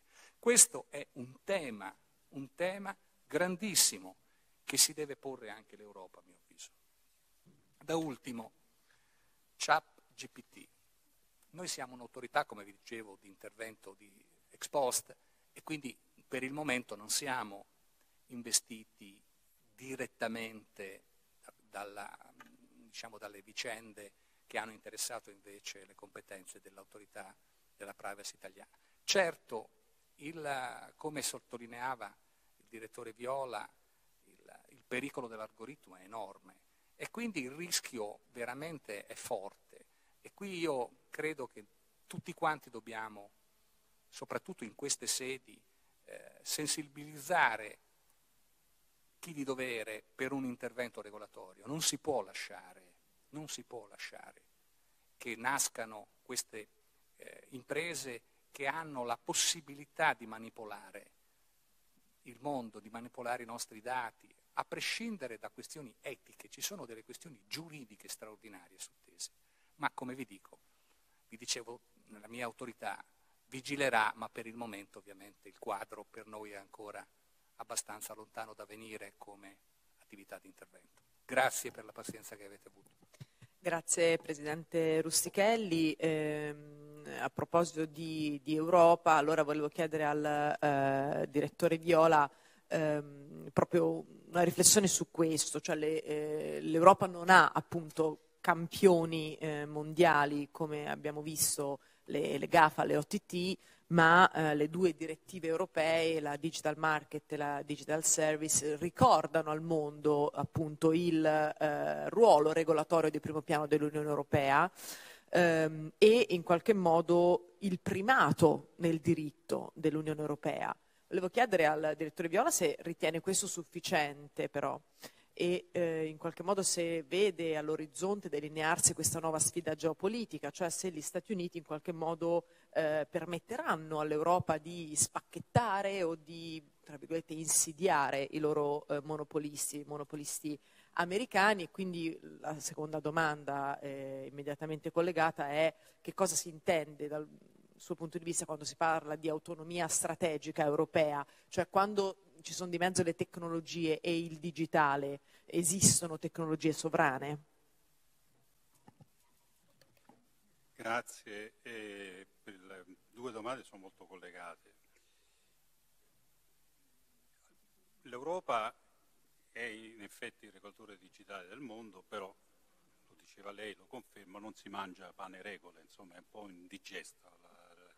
E, e in questo devo dire c'è questo paradosso un po' europeo, bravi a fare regole, bravi a fare tecnologia, perché l'Europa ha inventato molto delle cose che poi i capitalisti americani sono riusciti a portare sul mercato. Il wifi, le tecniche di trasmissione sono tutti brevetti europei. L'MPEG, l'amico eh, Chiariglione, eh, eh, mi ricordo che sono stato, quando lavoravo all'Agenzia Spaziale Europea, il primo che l'ha finanziato e poi, però purtroppo l'Oxelt è stato chiuso dopo la, la tua partenza un atto suicida da parte dell'Italia, quello di chiudere uno dei centri di ricerca più, più, più importanti al mondo. Eh, il World Wide Web è stato inventato da un europeo a Ginevra, è ben descritto nel libro. Quest'anno tre premi Nobel per la fisica, due sono europei eh, e fanno parte del programma quantistico europeo che, sta, che fa parte della mia direzione generale. Quindi Devo dire, l'Europa è bravissima nella, nella scienza, nella tecnologia, è brava nelle regole, eh, non riesce, diciamo, nella parte industriale a poi esprimere questi, queste due eccellenze. Un po' l'ho detto la ragione, perché la, la, la parte industriale europea si è un po' fermata alla, alla, alla, dottrina tedesca, quella sostanzialmente finché l'esport va bene, perché preoccuparsi? Eh, e anche un po' perché la struttura corporate eh, europea è molto complessa e so, soprattutto diciamo, un pochino, eh, eh, eh, e questo ce lo può dire meglio di tutti eh, il dottor Bernabé, agli amministratori viene chiesta la stabilità piuttosto che il rischio. Cioè nel sistema americano ci sono le cosiddette eh, azioni tipo A e quelle tipo B. Quelle di tipo A si decide, normalmente sono in mano all'imprenditore digitale e di quelle di tipo B sono in mano al mercato. Quindi in sostanza l'imprenditore digitale ha mano libera. Se il signor Elon Musk decide di investire sui razzi, lo fa e lo decide. Non va a un consiglio di amministrazione fatto da banche, fatto da investitori istituzionali che gli fanno tante domande. Eh, L'Europa con i criteri di Basilea eh, si è inventata che investire in infrastrutture tecnologiche come per esempio banalmente reti di telecomunicazioni è rischioso. Per cui in questo momento c'è il paradosso che grandi fondi eh, australiani, americani sono interessati alla rete italiana e non c'è manco un fondo europeo.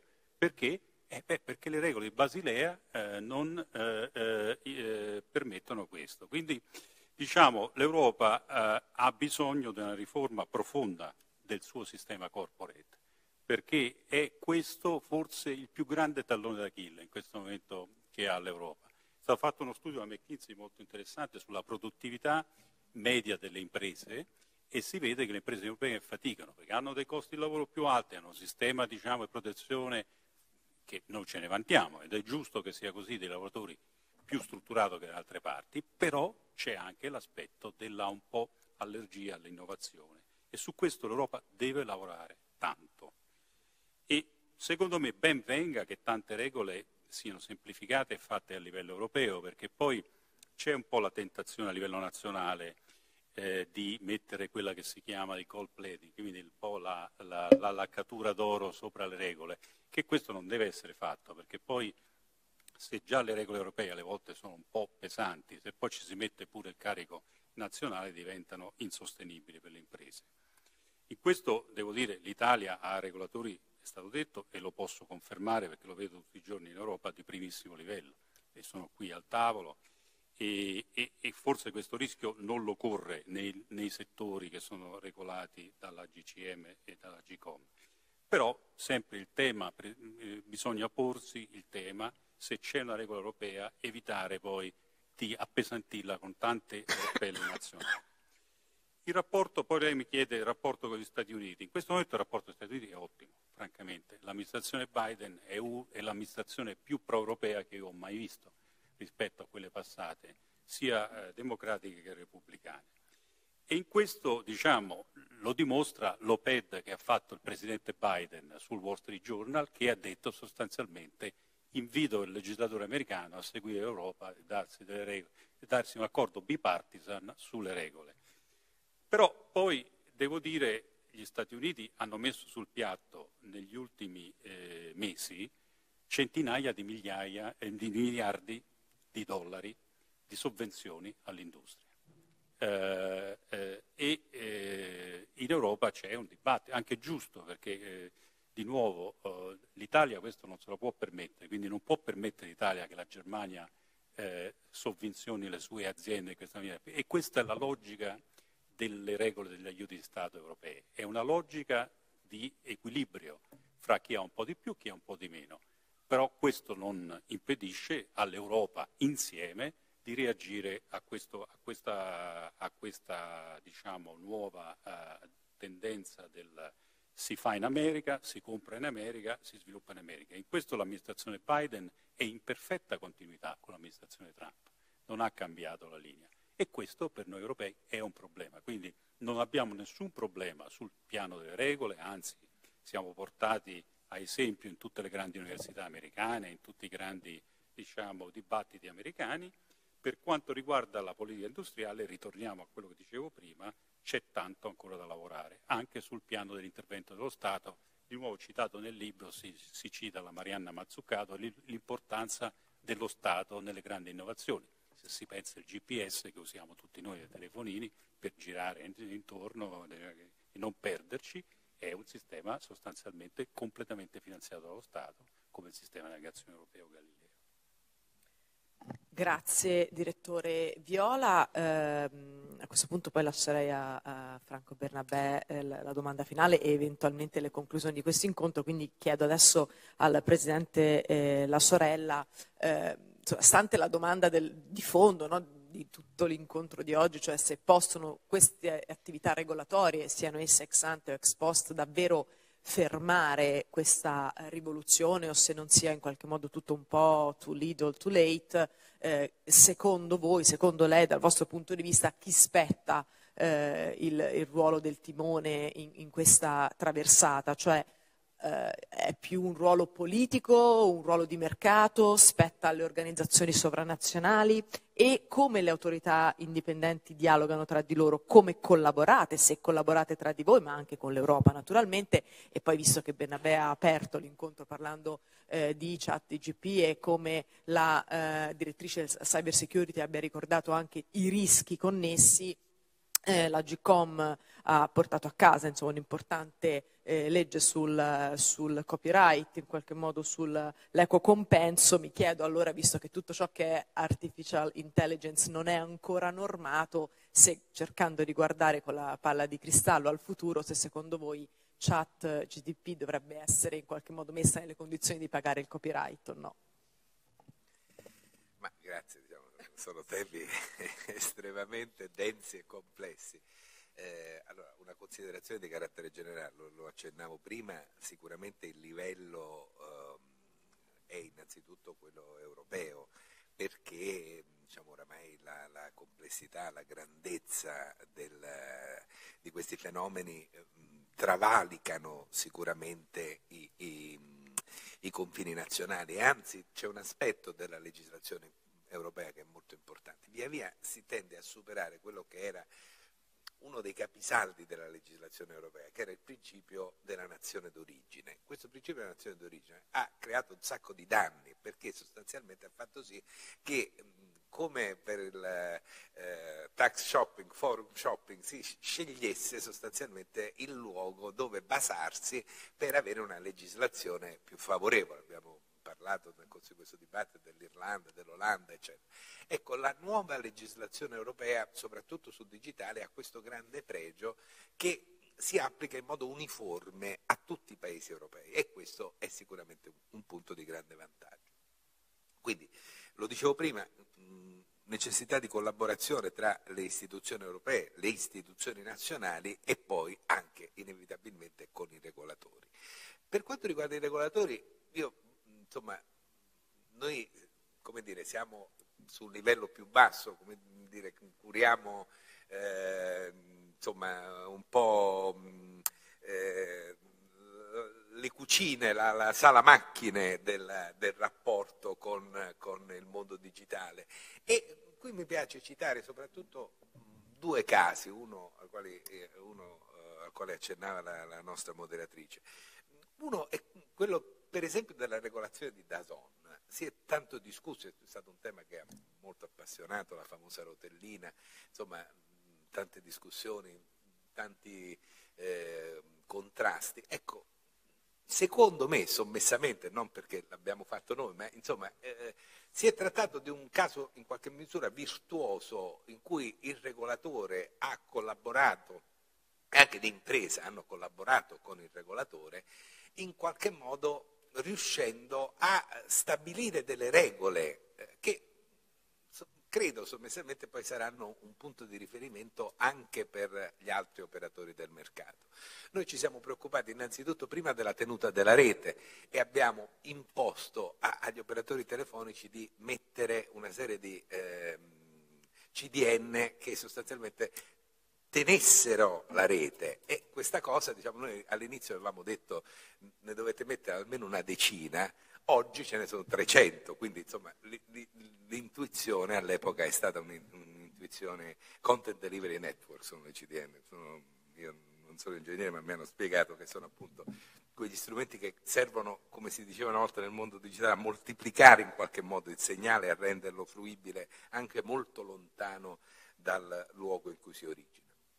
Quindi, prima di tutto ci siamo preoccupati di, che tenesse la rete, poi ci siamo preoccupati di fissare degli standard qualitativi per le trasmissioni e abbiamo collegato a questi standard anche eh, una, eh, la possibilità di chiedere indennizi nel caso in cui questi standard non fossero rispettati.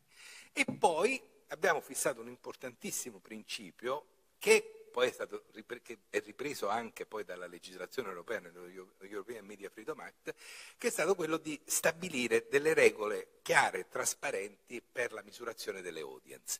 La misurazione dell'audience è un tema fondamentale nel mondo dell'audiovisivo ed è un tema fondamentale anche nel mondo digitale, perché inevitabilmente misurare le audience significa dare una quantificazione economica al traffico e quindi eh, allocare la pubblicità e dare il giusto prezzo alla pubblicità.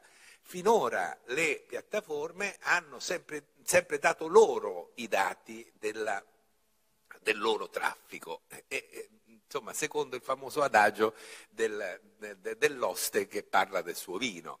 Eh, invece tendenzialmente una regolazione dell'audience fatta attraverso metodi oggettivi è il primo passo per aprire il mercato e renderlo più trasparente. Questo l'abbiamo fatto per Dazon e via via stiamo estendendo questi criteri anche a altri ehm, settori del mercato.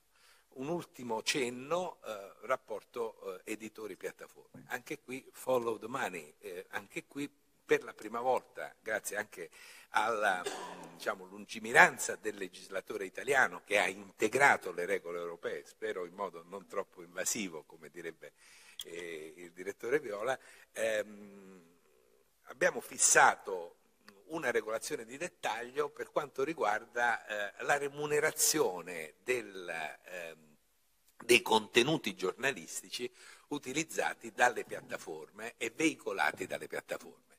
Qui c'è un vantaggio astrattamente reciproco perché la piattaforma veicola i contenuti ma è, il giornale che le produce. Allora il tema è stabilire che una quota delle remunerazioni, delle revenues, dei, dei redditi che derivano da questo sfruttamento vada evidentemente anche ai giornali. Eh, abbiamo fissato queste regole, sono in corso adesso le trattative tra editori e piattaforme guardiamo con trepidazione a che eh, insomma, questo meccanismo funzioni e sia virtuoso.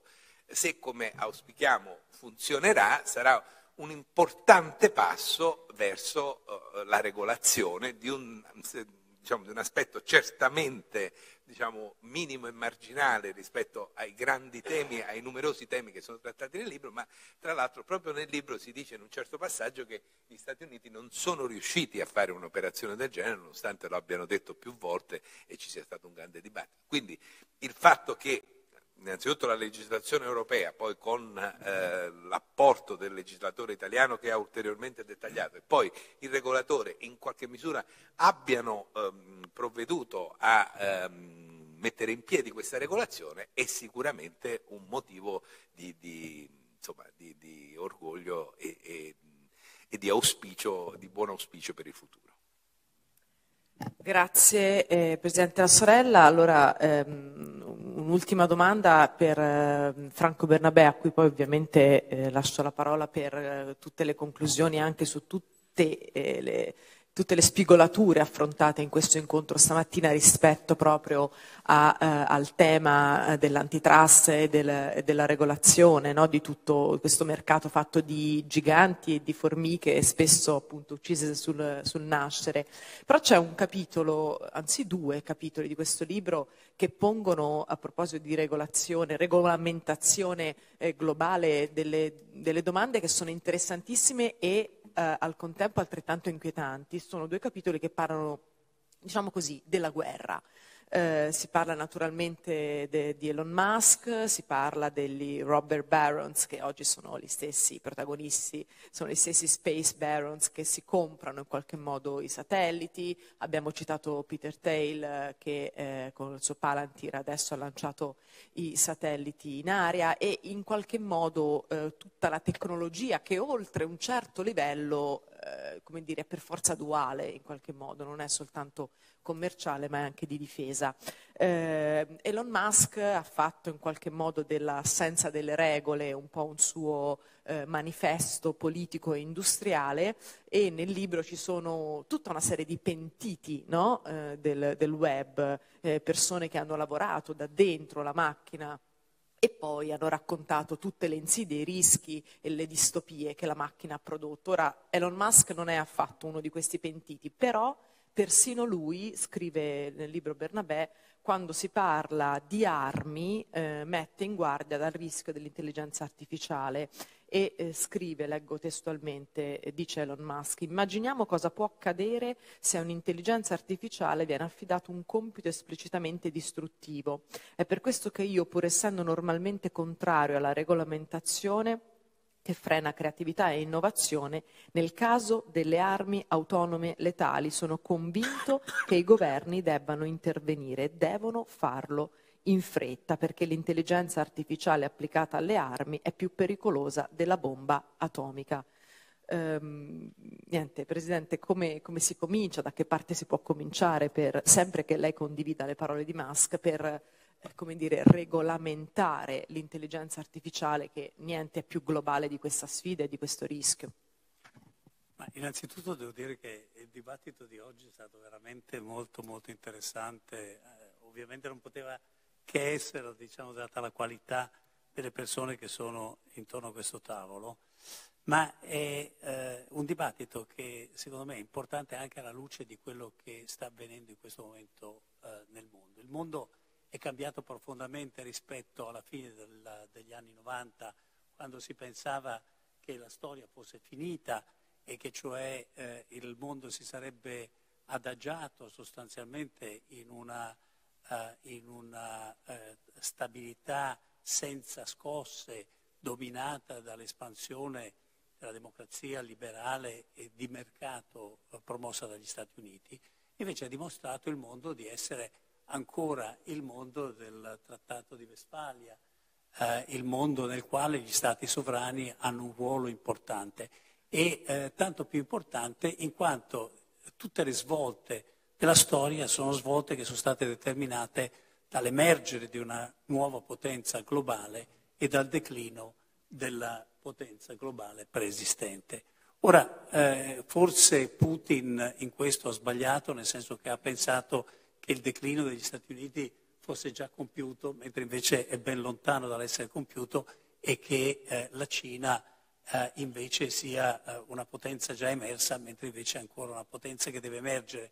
E devo dire che la vicenda degli ultimi 12 mesi, eh, da quando è scoppiata la guerra in Ucraina, ha dimostrato quanto fossero sbagliate le valutazioni di Putin e anche di Xi Jinping sul declino dell'Occidente.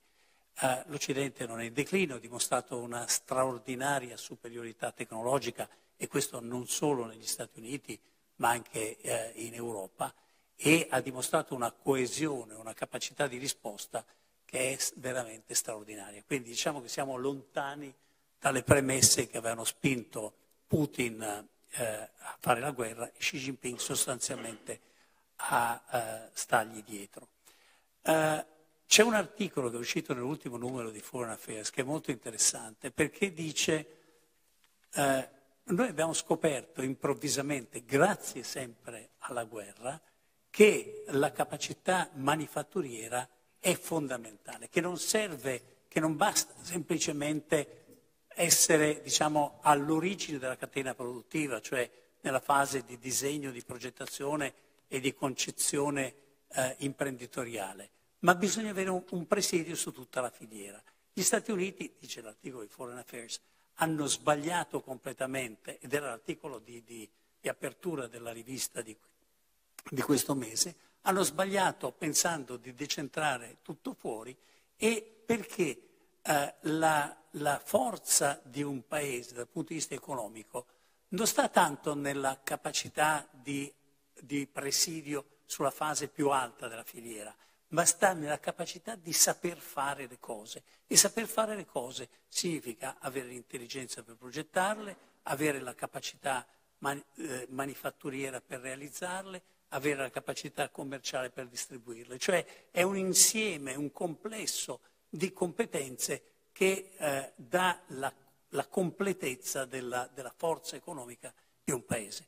In questo senso l'aver decentrato tutta la capacità manifatturiera alla Cina e a, agli altri paesi eh, eh, del, del sud-est asiatico è stato un grande errore dal quale dobbiamo fare eh, da, da, marcia indietro e gli Stati Uniti lo stanno facendo con l'Inflation Reduction Act. L'Europa questa capacità manifatturiera ce l'ha, la capacità di fare ce l'ha, l'Italia questa capacità di fare. A me, eh, io mi sono irritato quando ho sentito una persona autorevolissima che mi ha detto, ah ma noi siamo, dopo la vicenda dei chat GPT, mi ha detto, ah ma noi siamo come la Corea del Nord. Ma non è vero. L'Italia ha una straordinaria capacità manifatturiera, una capacità straordinaria nel fare eh, e eh, questo spiega il motivo per cui negli ultimi sette anni siamo andati sempre meglio de, di quello che invece prevedevano i profeti di sventura. Eh, e perché siamo andati meglio? Perché uno deve andare a vedere anche le ragioni per le quali la capacità manifatturiera italiana si è sviluppata e ha consentito negli ultimi eh, anni di avere un'espansione del, dell'occupazione straordinaria, come mai si è registrata nel passato, delle dinamiche economiche straordinarie, con dei tassi di crescita eh, stupefacenti che smentiscono anche le previsioni più buie che erano state fatte di recente sul fatto che eh, il 2023 sarebbe stato un anno disastroso. No, questa, l'origine di questa cosa è eh, la, eh, l'insieme di provvedimenti che erano stati fatti intorno a metà degli anni 15, cioè il Jobs Act, il, il, eh, il Patent Box, eh, eh, Industria 4.0, cioè tutti quei provvedimenti che in qualche modo avevano ridotto, non dico il livello di regolazione, ma lo avevano, avevano eh, restituito flessibilità. E avendo restituito flessibilità al sistema, la capacità imprenditoriale è esplosa perché gli italiani le cose le sanno fare e le sanno fare anche in termini tecnologici, come le sanno fare i francesi e come le sanno fare i tedeschi. Eh, il problema della regolazione, secondo me, è un problema di equilibrio di regolazione, cioè bisogna regolare e qui gli Stati Uniti hanno fatto troppo poco e eh, bisogna evitare che la regolazione sia eccessiva impedendo lo sviluppo degli spiriti animali. Eh, un'altra cosa che aveva fatto Clinton eh, a valle del provvedimento del 96 sulla uh, riforma del Communication, Telecommunications Act è stato quello di liberalizzare completamente eh, il, la, la, formazione delle imprese, cioè un nuovo imprenditore poteva essere libero da qualsiasi vincolo, da qualsiasi condizionamento. Ora voi pensate che quello che succede in Italia, dove qualsiasi impresa, anche piccola, deve fare, per dire una cosa, tutta la procedura antimafia. Cioè è una cosa che imbarazza tutti gli americani, tutti quelli che vengono a investire in Italia, quando per qualsiasi cosa devono fare le certificazioni antimafia. Una roba banale, ma testimonia del fatto che l'eccesso di regole, l'eccesso di, di regolazione è disastroso. Uh, come è disastroso il dare orientamenti su dove si debba arrivare. Perché un altro degli elementi che hanno fatto il successo degli Stati Uniti negli anni 50... Oh, ora, voi pensate una cosa. Uh, la Germania e l'Italia, durante la, uh, guerra, la seconda guerra mondiale, erano le nazioni più avanzate in termini scientifici e tecnologici per lo sviluppo della bomba atomica. Eh, I tedeschi avevano Heisenberg eh, che ci lavorava, avevano eh, Planck, eh, avevano una quantità di cervelli straordinari. L'Italia aveva il gruppo di, di, di via Panisperna, aveva i più grandi scienziati. Cosa, cosa, è successo negli Stati Uniti? È successo che un personaggio, eh, un direttore, un, un, uno dei professori del, dell'MIT, Vannevar Bush, ha convinto eh, il Presidente degli Stati Uniti dell'utilità di lasciare i, eh, gli scienziati liberi di pensare alle cose che potevano servire a servizio dello sforzo bellico americano. E Vannevar Bush è riuscito a fare poi Manhattan il progetto, il progetto Manhattan, ma ha costruito la, le fonti del successo tecnologico americano dopoguerra con un uh, memo che venne mandato, a, uh, venne mandato, al presidente americano che si chiama, che, che, che è in, uh, con un titolo che si chiama Science, the Endless Frontier, nel quale dà effettivamente l'indicazione che la, la, scienza deve essere sostenuta e lasciata libera di, di lavorare. Kahn Robert Kahn a me ha detto una volta che eh, il sostegno che viene dato per lo sviluppo del, del TCP-IP aveva due fattori di successo, no? quindi del, del, protocollo di sviluppo di Internet. Il primo è che l'idea l'aveva presa in Europa e l'aveva presa da un ingegnere di telecomunicazione europeo, Poussin, che aveva per primo sviluppato la, la, la, l'idea eh, della um, commutazione di pacchetto. Eh, perché Poussin non è andato avanti? Perché eh, in, in, Francia il Giscard d'Estaing decise di eliminare il plan calcul e di dare spazio a France Telecom che aveva i suoi progetti industriali e quindi disse no, no, lasciamo perdere eh, queste cose fantasiose, andiamo dietro a, una, a un'iniziativa industriale concreta e sosteniamo. Cioè, eh, il problema è che il, la mente deve essere lasciata libera di, di, di, svilupparsi. Khan appunto mi disse, a me è andato un budget di 5-6 milioni di dollari e non mi hanno chiesto che cosa fare, mi hanno detto solamente qual era l'obiettivo finale. Ora, eh, in questo devo dire che l'Europa ha una responsabilità enorme. Adesso noi ha, ha avuto una capacità straordinaria di reagire alla crisi. Cioè, eh, l'anno scorso, quando si è interrotto il flusso dal, dalla Russia del, del, gas, si pensava che saremmo morti, perché il 40% del fabbisogno di gas in Europa, che alimenta tutte le industrie europee, venivano dalla Russia.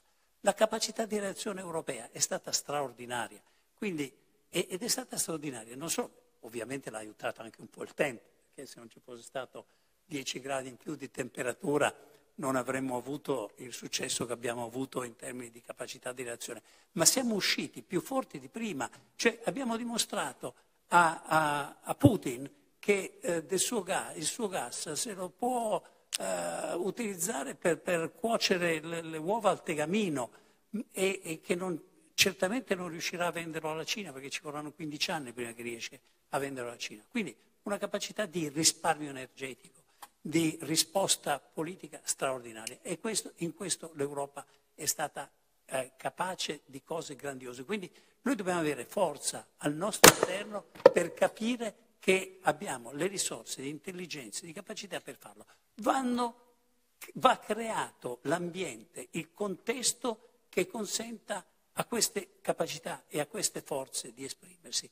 E da questo punto di vista la grande sfida che è quella della, della transizione energetica, deve essere gestita con grande attenzione perché l'idea che si debba andare in una sola direzione, rischiando di metterci a, al traino della Cina, che ha sviluppato l'industria. Oggi la Cina è quella che ha sviluppato la più grande industria di trasformazione energetica, di, di uh, transizione energetica, ha il 55% di capacità installata nelle rinnovabili, ha un quasi monopolio. Non è Tesla che, inventa- che ha sviluppato il monopolio dell'auto elettrica, è la Cina. Ci sono un sacco di produttori di auto elettriche in Cina che si stanno sviluppando e stanno, uh, importano la, le, le carrozzerie come si facevano negli anni 50, negli anni 60 nei paesi del terzo mondo, le importano in Italia per assemblarle in Italia e nel resto d'Europa. Quindi noi non possiamo essere dipendenti dalla Cina. Noi dobbiamo, avere, noi dobbiamo dare indicazione di dove vogliamo arrivare e la capacità, l'intelligenza e la, la, l'ingenuity in senso americano, cioè la capacità di trovare delle, situ- delle soluzioni a problemi complessi, noi ce l'abbiamo. Basta che venga lasciato fare all'impresa. Questa è, secondo me, la risposta. Eh, e, e da questo punto di vista devo dire che l'attenzione che è stata data, mi fa piacere il, il Presidente Rustichelli, le parole che ha detto, ma devo dire che tutte le considerazioni che sono state fatte eh, Roberto Viola nelle sue considerazioni sul, sulla forza dell'Europa e la capacità dell'Europa di esprimere tecnologia. Eh, il primo sistema di, di, di videocomunicazione è, stato, è, è, è, nato in Europa, è nato in Olanda ed è stato acquistato da una società americana. Perché? Cioè, eh, perché? Perché in Europa mancava la capacità finanziaria per consentire di svilupparsi. Troppe regole, giustamente è stato citato il, il, le regole di Basilea, troppi vincoli non vanno bene. Deve essere lasciata libertà di iniziativa e questo consentirà all'Europa che ha la forza, perché ha la capacità manifatturiera, ha la capacità di fa- sa fare le cose, di uh, ottenere in futuro il ruolo che le spetta a livello mondiale. Io ringrazio veramente tutti, stato, io credo che ho visto anche il livello di attenzione da parte della platea, eh, è stato un, un, un, evento molto molto interessante, credo che lascerà eh, degli spazi di riflessione ulteriori importanti per tutti quanti quelli che hanno partecipato. Ringrazio Roberto Viola, ringrazio Giacomo Sorella, ringrazio Roberto Rustichelli e Eva Giovannini che ha eh, condotto la, la discussione. Credo che abbiamo speso bene il nostro tempo e grazie a tutti voi per aver partecipato. Grazie. Grazie a tutti. Una buona giornata.